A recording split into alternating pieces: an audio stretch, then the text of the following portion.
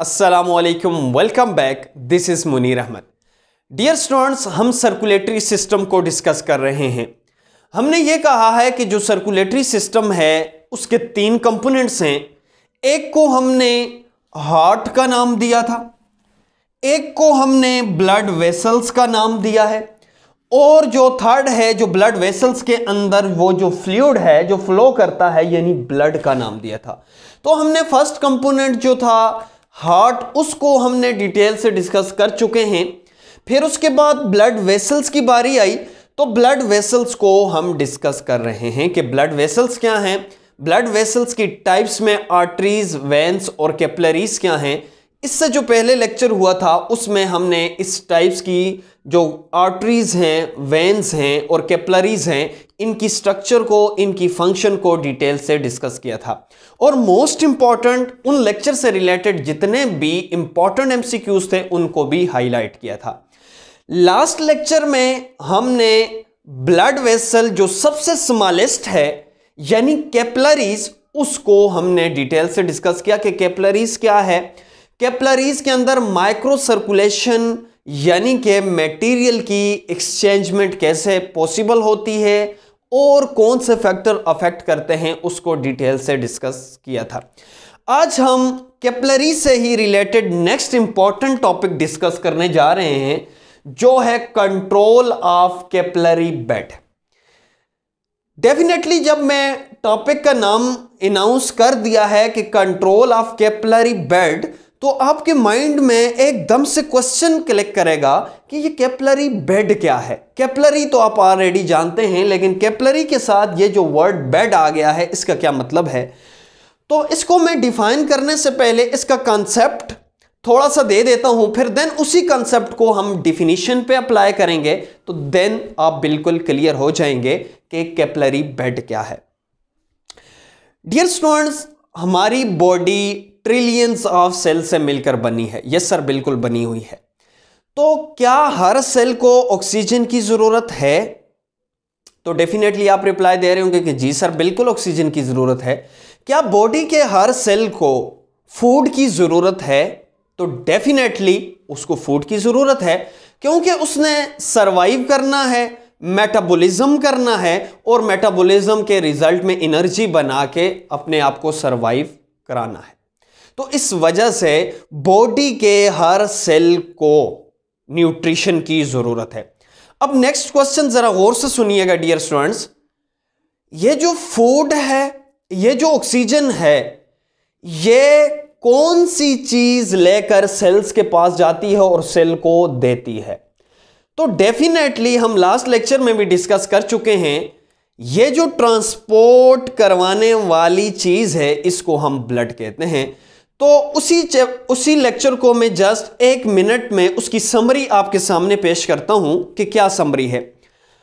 For example ये heart है और हार्ट के फोर चैम्बर्स होते हैं, आपको पता है। एक को हम राइट आर्ट्रियम कहते हैं, एक को हम राइट वेंट्रिकल कहते हैं, जिसको मैं आर वी से रिप्रेजेंट कर देता हूँ शॉर्ट फॉर्म में। थर्ड जो चैम्बर है, उसको मैं लेफ़्ट आर्ट्रियम का नाम दे देता हूँ, और जो फोर्थ चैम्बर है, उसको मैं लेफ़्ट वेंट्रिकल का नाम देता हूँ। तो ऊपर वाले आर्ट्रियम हैं और नीचे वाले वेंट्रिकल हैं फोर चैम्बर्स तो डियर स्टूडेंट्स, पूरी बॉडी से जितना भी ऑक्सीजनेटेड ब्लड है डीऑक्सीजनेटेड ब्लड है, वो हार्ट में आता है। और हार्ट जो है उसको पंप करता है ऑक्सीजनेशन के लिए लंग्स के पास। और जब लंग्स से ऑक्सीजन ब्लड के साथ लग जाती है तो दोबारा हार्ट में आता है और फिर हार्ट इसको पंप करता है, पूरी बॉडी में और पूरी बॉडी में डिस्ट्रीब्यूट हो जाता है। ये ऑलरेडी आप जानते हैं। सो फॉर एग्जांपल ब्लड जो है पूरी बॉडी से जो डीऑक्सीजनेटेड ब्लड है वो सुपीरियर वीना केवा से और इंफीरियर वीना केवा से हार्ट के राइट आर्ट्रियम में आ चुका है। अब राइट आर्ट्रियम के बाद ये इधर से शिफ्ट होगा राइट वेंट्रिकल में।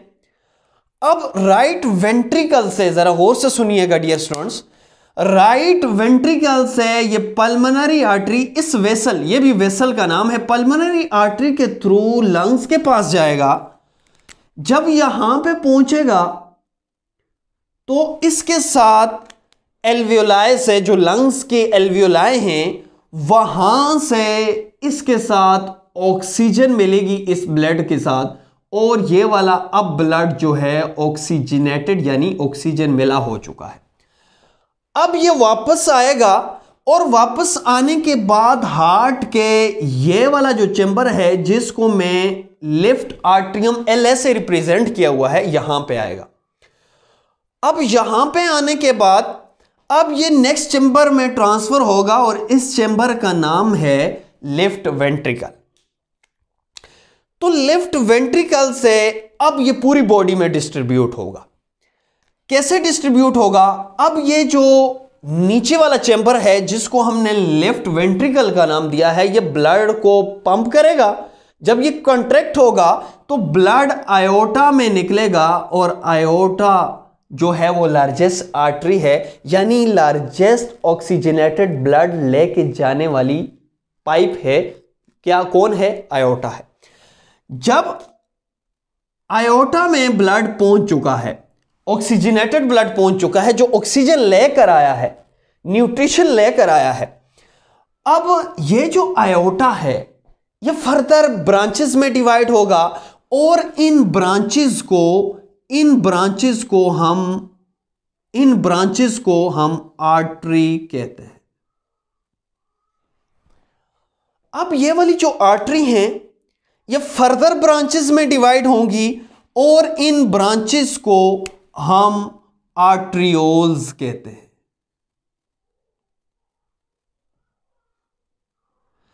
अब ये जो आर्ट्रियोल्स हैं, अब गौर से सुनिएगा, ये जो आर्ट्रियोल्स हैं, ये आर्ट्रियोल्स फर्दर समाल वेसल्स में, समाल ब्रांचेस में, समाल नालियों में डिवाइड हो जाएँगी और इन समाल नालियों को इन समाल नालियों को हम कैपलरी का नाम देते हैं।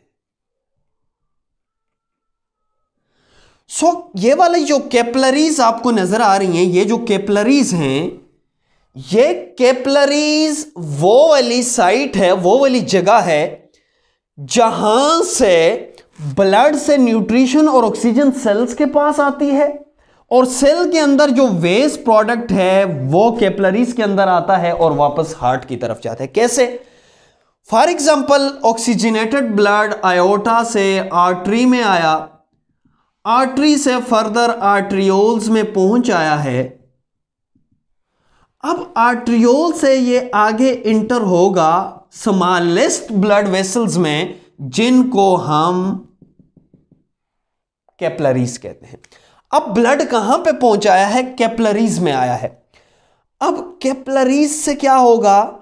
ये जो आरबीसी यानी ब्लड ऑक्सीजन लेके आया है, ये ऑक्सीजन सेल्स के पास जाएगी। और पहले ये सेल्स बड़े परेशान थे। अब ये बड़े खुश हो जाएँगे। क्यों? क्योंकि इनको ऑक्सीजन मिल चुकी है। ब्लड जो न्यूट्रिशन लेकर आया है जो न्यूट्रिएंट्स यानी फ़ूड लेकर आया है, वो फ़ूड भी किसको मिलेगा? सेल्स को मिलेगा।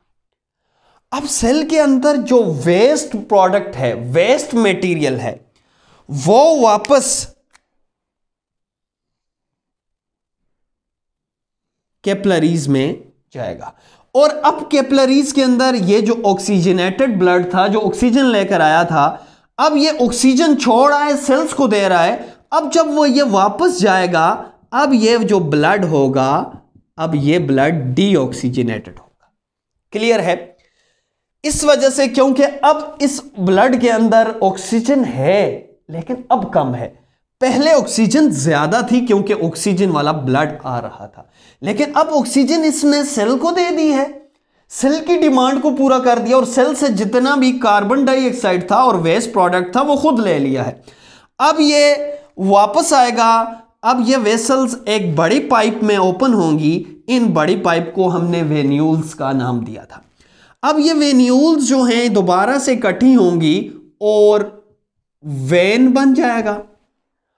अब ये जो वेन है, ये डीऑक्सीजनेटेड ब्लड वेन्यूल से कलेक्ट कर रहा है। अब ये जो वेन्स है, ये वापस ब्लड को लेकर सुपीरियर वीना केवा या इंफीरियर वीना केवा में लेकर जाएगी अगर ये वाले सेल्स बॉडी के लोअर पार्ट के थे यानी ब्लड लोअर पार्ट की तरफ़ जा रहा था तो वापस जब भी वीन जाएगी तो इंफीरियर वीना केवा में ओपन होगी और इंफीरियर वीना केवा जाके राइट आर्टरियो में ओपन होगा अगर फॉर एग्जांपल ये सेल्स शोल्डर के थे तो ब्लड ज़ाहिर सी बात है हार्ट ने ब्लड को तो हर तरफ़ पंप करना है। तो आयोटा आर्टरी में डिवाइड हुआ और आर्टरी ये ब्लड लेकर शोल्डर सेल्स की तरफ़ या जो हेड के सेल्स हैं, उसकी तरफ़ लेकर आई। अब हेड के सेल्स जब एक्सचेंजमेंट हो जाएगी तो एक्सचेंजमेंट होने के बाद ये जो डीऑक्सीजनेटेड ब्लड है वेन्स में जाएगा। अब ये जो वेन्स है, जाकर सुपीरियर वीना केवा के साथ अटैच होंगी और सुपीरियर और inferior vena cava right atrium में डीऑक्सीजनेटेड ब्लड को ओपन करेंगे। अब ये जो डीऑक्सीजनेटेड ब्लड है अगेन राइट आर्ट्रियम में पहुँच आया है। तो आप देखें, एक सर्कट सा कंप्लीट होता है। यूँ ब्लड वापस राइट आर्ट्रियम से, फिर दोबारा लंग्स के पास और इस तरह की सर्कट कंप्लीट होती है। अब मैं एक मोस्ट इंपॉर्टेंट बात बताने चाह रहा हूँ, जो आज का हमारा टॉपिक है, कि कैपलरी बेड क्या है। आप अगर इस पोजीशन पे देखें तो ये आपको कैपलरीज का एक नेटवर्क नज़र आ रहा है, जो सेल्स को सराउंड किया हुआ है और सेल्स के साथ एक्सचेंजमेंट हो रही है। ये जो आपको कैपलरीज का नेटवर्क नज़र आ रहा है, जिसने ऑर्गन्स के या टिश्यू के सेल्स को सराउंड किया हुआ है और माइक्रो सर्कुलेशन का काम हो रहा है, इन नेटवर्क ऑफ़ कैपलरीज को कैपलरी बेड कहते हैं। क्लियर है डियर स्टूडेंट्स अब इसी पॉइंट्स को मैं डिफाइन कर रहा हूँ प्रॉपर डिफाइन कर रहा हूँ। आप अपनी कॉपीज में नोट भी कर सकते हैं। It is interwoven network of capillaries ये कैपलरीज का नेटवर्क है। That supplies nutrition and oxygen and remove metabolic waste of tissue and organ ये इंटरवोवन नेटवर्क ऑफ़ कैपलरीज है, जो किसी भी ऑर्गन या टिश्यू के सेल्स को न्यूट्रिशन देता है और बदले में वेस्ट प्रोडक्ट या मेटाबॉलिक वेस्ट लेकर वापस जाता है। ऐसे नेटवर्क ऑफ़ कैपलरीज को हम कैपलरी बेड कहते हैं। सिंपल सी बात है कि कैपलरी बेड क्या है? नेटवर्क ऑफ़ कैपलरीज हैं, जिनको हम कैपलरी बेड कहते हैं। अब मोस्ट इंपॉर्टेंट और इंटरेस्टिंग पॉइंट्स बताने जा रहा हूँ, जरा गौर से सुनिएगा। आप भी ये बात सुनकर हैरान रह जाएँगे कि खुदा की कितनी बड़ी ज़ात है जो इस निज़ाम को चला रहा है। जरा और से फोकस कीजिएगा dear students it has been estimated adult human has sixty thousand miles of capillaries इस पॉइंट का यह मतलब है कि हमारी बॉडी से अगर कैपलरीज को निकाला जाए, एक एडल्ट की बॉडी से, और कैपलरीज को ऐसे खोला जाए, एक दूसरे के साथ कैपलरीज को जोड़ा जाए तो इन कैपलरीज की लंबाई इतनी लंबी हो जाएगी कि सिक्सटी थाउज़ेंड माइल्स के एरिया को कवर करेगी। और ये हमारी बॉडी के अंदर हैं सुबहान अल्लाह अब आपकी माइंड में यह भी क्वेश्चन आ रहा होगा कि सिक्सटी थाउज़ेंड माइल्स अगर किलोमीटर में कन्वर्ट करें तो कितना होगा? इससे पहले एक और पॉइंट सुनिएगा। अगर मैंने जैसे आपको अभी बताया कि अगर कैपलरीज को ऐसे खोला जाए, सारी कैपलरीज को ऐसे लगाया जाए तो इतनी लंबी होती हैं कि सिक्सटी थाउज़ेंड माइल्स को कवर कर सकती हैं। क्लियर है? और नेक्स्ट हैरान कन हैरान होने वाली बात कि ये जो ज़मीन है, इस ज़मीन के इर्द गिर्द हम दो दफ़ा इन कैपलरीज को लपेट सकते हैं। इतनी बड़ी कैपलरीज होती हैं अब 60 माइल्स को अगर मैं किलोमीटर में कन्वर्ट करूँ तो आपको यह पता है कि एक माइल में, अगर एक माइल में अगर मैं इधर करूँ, एक माइल में कितने किलोमीटर होते हैं? 1.609 किलोमीटर होते हैं। सो सिक्सटी थाउज़ेंड में कितने माइल होंगे सिक्सटी थाउज़ेंड माइल में कितने किलोमीटर होंगे? 1.609 के साथ मल्टीप्लाई करेंगे। और इसका जो आंसर है वो तकरीबन आएगा 96,540 किलोमीटर। सो so, इसका ये मतलब है कि सिक्सटी थाउज़ेंड माइल्स जो हैं 96,540 किलोमीटर के बराबर हैं। और आपकी जर्नल इंफॉर्मेशन के लिए हमारी जो अर्थ है, अर्थ का कितना डायमीटर है, अर्थ की अगर बात की जाए तो ये तकरीबन forty thousand seventy five kilometre इसका डायमीटर होता है। तो आप इससे अंदाज़ा लगा सकते हैं कि जो कैपलरीज हैं, वो नाइन्टी सिक्स थाउज़ेंड हैं अप्रोक्सीमेटली बात की जाए। और हमारी जो अर्थ है वो फोर्टी थाउज़ेंड है। तो इसका यह मतलब हुआ कि नाइन्टी सिक्स थाउज़ेंड जो है, वो टू टाइम हम अर्थ के ऊपर लपेट सकते हैं। तो सुबहान अल्लाह कितनी बड़ी ज़ात है जो इस पूरे सिस्टम को चला रही है। अगर with total surface area of 800 to 1000 metre square अगर इसको खोला जाए खोलने के बाद अगर इन वेसल्स के सरफेस का वॉल्यूम देखा जाए तो इसका जो वॉल्यूम है वो 800 से 1000 मीटर स्क्वायर होता है। और बुक में एक और इंपॉर्टेंट पॉइंट भी लिखी हुई है। ये लिखा हुआ है कि जो टेनिस कोर्ट होता है, उस टेनिस कोर्ट के थ्री टाइम बड़ा सरफेस वॉल्यूम होता है ब्लड वेसल्स का। अब यह बात मुझे पता है, आपको समझ नहीं जो मैंने कही है। टेनिस कोर्ट कहते हैं ग्राउंड को। वो ग्राउंड जहाँ से टेनिस बॉल खेली जाती है, उस ग्राउंड को टेनिस कोर्ट कहते हैं। इस टेनिस कोर्ट का जो सरफेस एरिया है, जो सरफेस एरिया है उसके तीन गुना बड़ा सरफेस एरिया ब्लड कैपलरीज को होता है। तो अब आपके माइंड में यह भी क्वेश्चन आ रहा होगा कि सर एक टेनिस कोर्ट का कितना सरफेस एरिया होता है? तो एक टेनिस कोर्ट का जो सरफेस एरिया होता है 196 मीटर स्क्वायर तो आप देख सकते हैं 800 से 1000 मीटर स्क्वायर है। तो इसका यह मतलब हुआ कि तीन टेनिस जो ग्राउंड हैं कोर्ट हैं उनका जो वॉल्यूम है उनके जो surface area sorry surface area है उससे तीन गुना यानी ये 200 अगर इसको इमेजिन करें तो ये 800 से हज़ार मीटर स्क्वायर है। तो कितना बड़ा सरफेस एरिया है।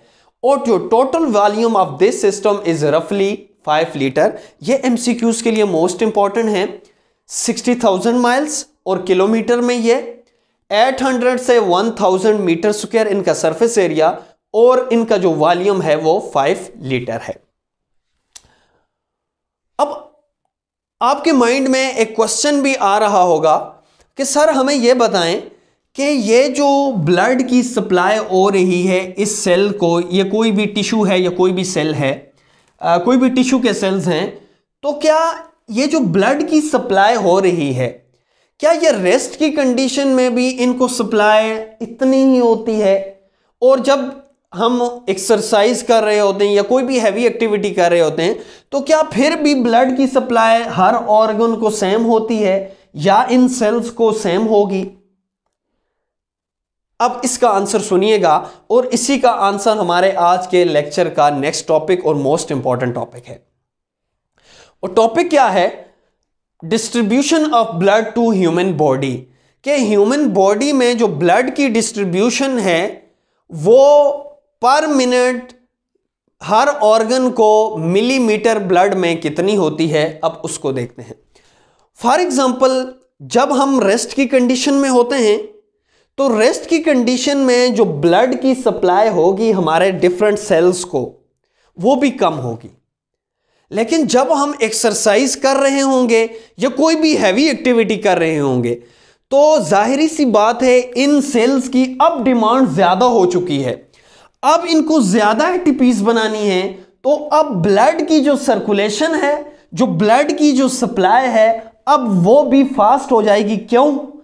इस वजह से फास्ट होगी ताकि ज़्यादा से ज़्यादा ऑक्सीजन आए, ज़्यादा से ज़्यादा फ़ूड आए और इन सेल्स को मिले और ज़्यादा से ज़्यादा एटीपी बनाए और हम एक्सरसाइज और ज़्यादा या एक्टिविटी को प्रॉपर कर सकें। क्लियर है? तो एक पॉइंट तो आपको क्लियर हो चुका होगा तो एक्सरसाइज के टाइम हमारी बॉडी के सेल्स को एटीपी ज़्यादा बनाने हैं तो ब्लड की सप्लाई भी ज़्यादा हो जाएगी।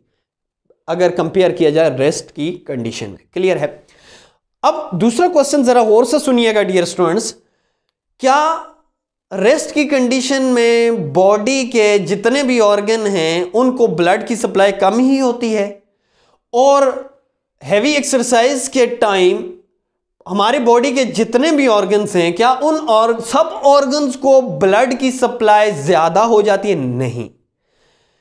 जब हम एक्सरसाइज कर रहे होंगे तो हमारे जो पार्ट एक्सरसाइज में इन्वॉल्व होंगे, अब उनमें ब्लड की सप्लाई ज़्यादा होगी और जो उस टाइम उसकी बनस्पत कम काम कर रहे हैं तो उस टाइम उनको कम ब्लड की सप्लाई होगी।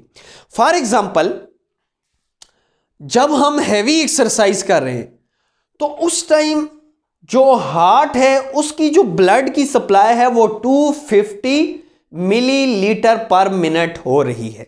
लेकिन जब हम एक्सरसाइज करेंगे तो एक्सरसाइज के दर एक्सरसाइज के वक्त हार्ट को जो ब्लड की सप्लाई होगी, वो 750 मिलीलीटर पर मिनट हो जाएगी। तो पहले कम थी रेस्ट की कंडीशन में, अब ज़्यादा होगी है।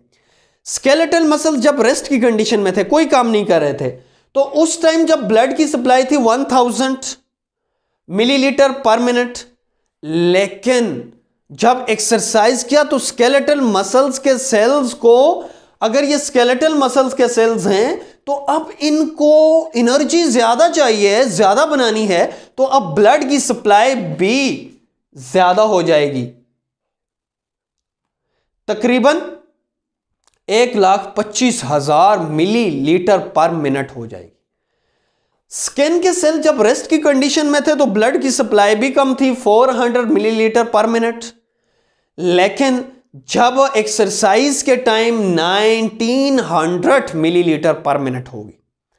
लेकिन इससे आगे जरा सा गौर से सुनिएगा कंसेप्चुअल पॉइंट है। जो विसरल ऑर्गन थे विसरल ऑर्गन कौन से ऑर्गन होते हैं? यहाँ पे मैंने पॉइंट लिखा हुआ, वो ऑर्गन जो हमारी मेन एक्टिविटी मेन जो कैविटी है उसके अंदर होते हैं फॉर एग्जांपल इंटेस्टाइन वगैरह। पहले रेस्ट की कंडीशन में इंटेस्टाइन को 1400 मिलीलीटर पर मिनट ब्लड सप्लाई हो रहा था। लेकिन एक्सरसाइज के टाइम 600 हो गया। ये क्यों? किडनी जब रेस्ट की कंडीशन में थी तो 1200 था, लेकिन जब एक्सरसाइज थी तो कम हो गया 600 हो गया। यह ऐसा क्यों हुआ है? जरा गौर से सुनिएगा। इस वजह से हुआ है क्योंकि एक्सरसाइज के टाइम ये वाले ऑर्गन एक्टिव हैं और ज़्यादा एक्टिविटी कर रहे हैं। तो इस टाइम ब्लड की सप्लाई इधर ज़्यादा है और इधर कम हो चुकी है। क्लियर है? तो विसरल आर्गन में कम हो चुक जाएगी जबकि स्केलेटल सेल्स में ज़्यादा हो जाएगी क्योंकि उस टाइम वो एक्टिविटी कर रहे हैं। तो इसका यह मतलब हुआ जो ब्लड की सप्लाई है वो ऑर्गन टू ऑर्गन नीड पे डिपेंड करती है। सो so, इसके बाद एक और इंपॉर्टेंट पॉइंट बताने जा रहा हूँ कि फॉर एग्जांपल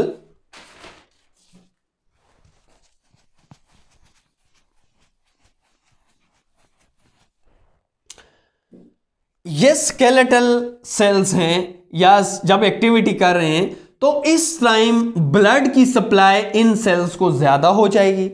जब इन सेल्स को ब्लड की सप्लाई ज़्यादा होगी तो हार्ट को भी ब्लड की सप्लाई ज़्यादा चाहिए, क्योंकि उसने ज़्यादा ब्लड को पंप करना है।